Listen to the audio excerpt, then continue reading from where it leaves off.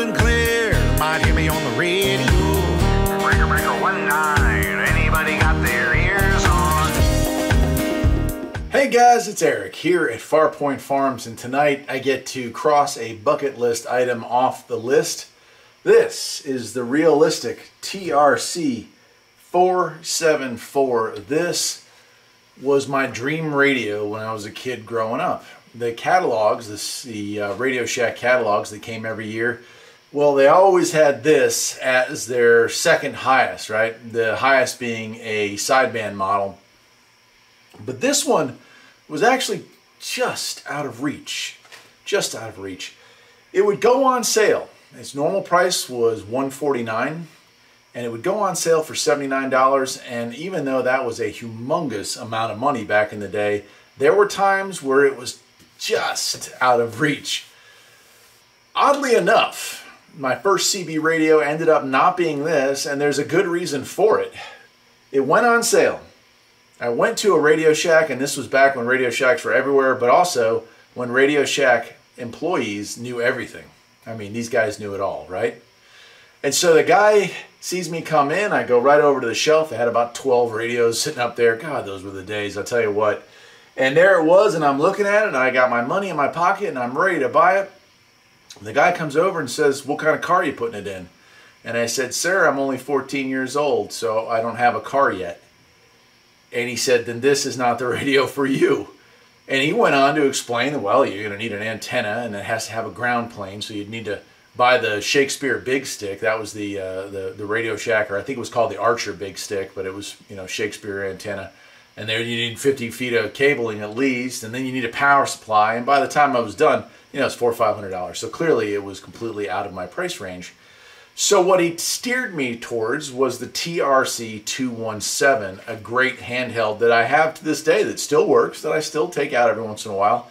And I've made a video on that if you want to dig through the pile. But as a result, I never ended up with this. When I turned 16, I sure wish I hadn't bought that TRC-217.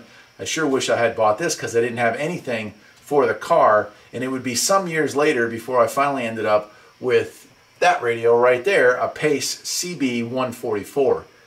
The rest of that is history. Let's get on to tonight's radio, the TRC 474. This was Radio Shack's meat and potatoes. And what I'm going to do is I'm going to get the camera closer in here so you can see all the buttons and knobs and we'll go over all the features and functions and then we'll fire this thing up and we'll roll through the band and see what we can do. Let's do it. All right, here we are with it. I've got it plugged in. I've got it hooked to the Solarcon A99, and it is time to play with this thing.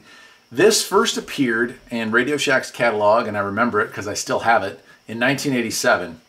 And it was gone after the 1990 year, although if you go to the stores, you would see them on clearance at the stores well into 92, really. I think I saw one or two of these floating around when I was lusting after them after getting a driver's license.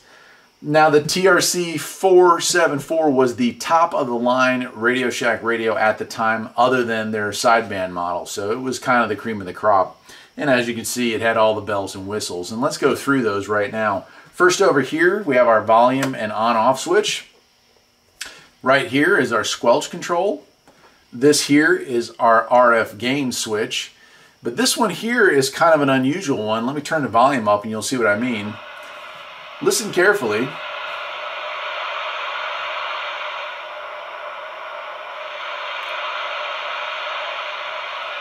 That is tone control, and that's kind of a rare feature on radios then and now. So you can change the pitch. If the static is too irritating to your ears, you can change the tone of both the signals you're receiving and the background static. So that's really cool. And then finally over here is our channel selector knob.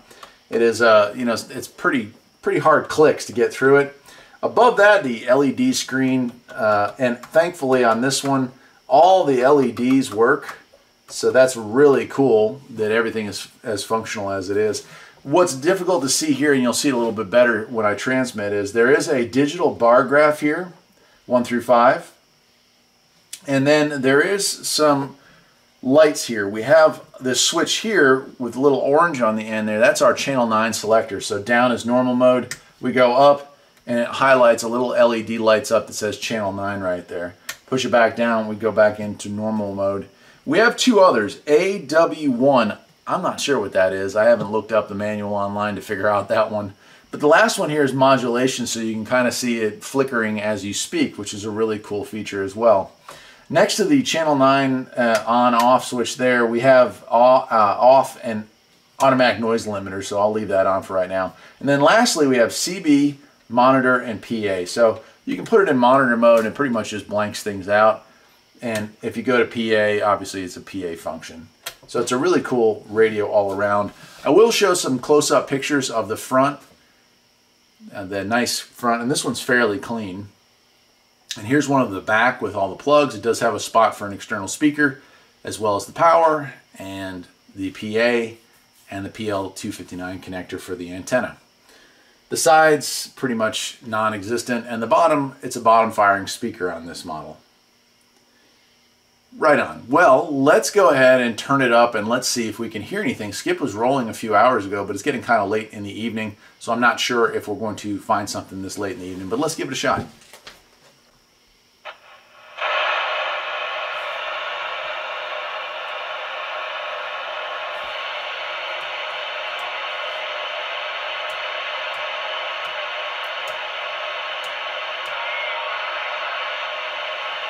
Traffic on 38, but it's probably sideband traffic, so I won't key down on it. But you did see for a second there the bar graph start to move up.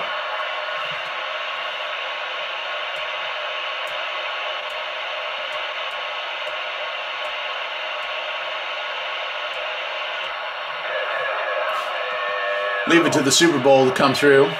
So the Super Bowl is happening. And again, watch the uh, watch the LED lights move around as people start speaking again.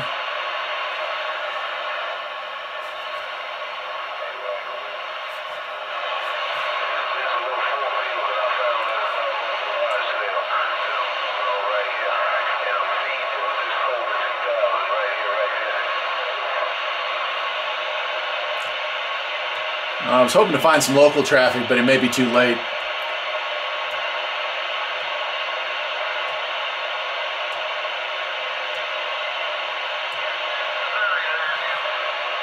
So I'm down 15. Break channel. Break channel for a radio check.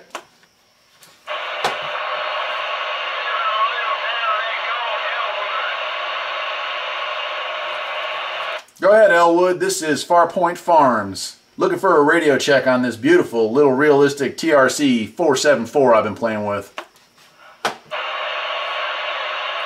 Well, that's it. It works in uh, and and it works pretty darn well. It transmits well and it receives well. I was earlier when I was before I cleaned it. It was really really dusty and dirty when I first got my hands on it. But I could see. Oh, by the way, I, I paid fifteen dollars. People have been asking me to include prices of radios when I pick them up. I don't know why, but $15 at a Hamfest. That's what I paid for this.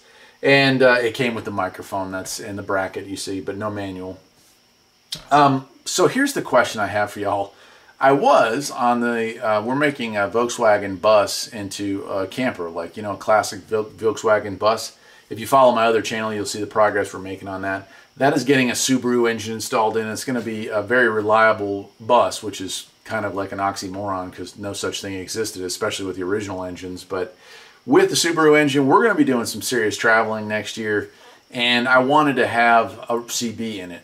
Now, I was going to put um, something from President in it with AM and FM, but looking at the bus and looking how vintage it is, would you think that this would be a better fit having come out, you know, in 87, where that bus would only have been 14 years old at the time, and certainly those were all over the road back then, this would have been something that somebody might have gone out and bought to install on their bus for a trip like that. So do you think this would be a better choice than a more modern radio for installing on my Volkswagen bus camper project?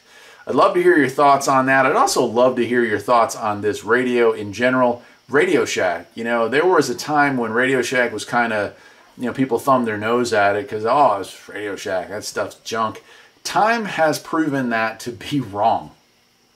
I love Radio Shack items. I have a DX394 shortwave receiver that I use every single night.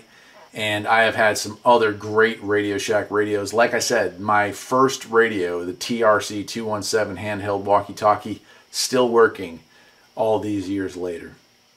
I guess that'll do it for tonight, my friends. I'm Eric, and I hope you enjoyed this trip down memory lane with a really cool Radio Shack radio.